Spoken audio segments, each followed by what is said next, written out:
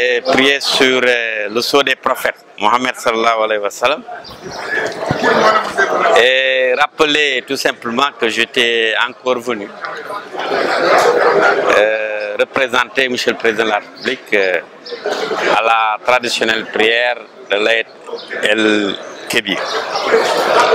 C'est donc une occasion pour moi, encore une fois, de porter le message de Monsieur le Président de la République et solliciter en retour des prières pour un Sénégal prospère, un Sénégal stable. Durant donc, après cette prière, le- l'imam a parlé aux populations. Comme à son habitude, il a abordé les questions liées à la solidarité, l'entraide, à la convivialité dans l'espace euh, social.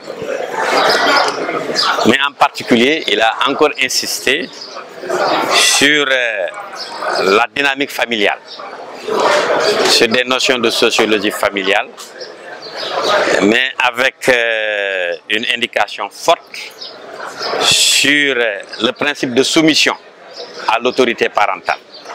Parce que ce qui s'est passé entre Ibrahim et son fils Is- Is- Ismaël, dans la traduction actuelle, on peut véritablement le considérer comme une soumission d'un fils à son papa. Et cette soumission, par extension, comme l'a rappelé l'imam, doit être de mise un peu partout. Ce qui, de son point de vue, que je partage d'ailleurs, est un gage de stabilité à l'intérieur des communautés et à l'intérieur de la famille. Et l'imam a encore insisté sur ça.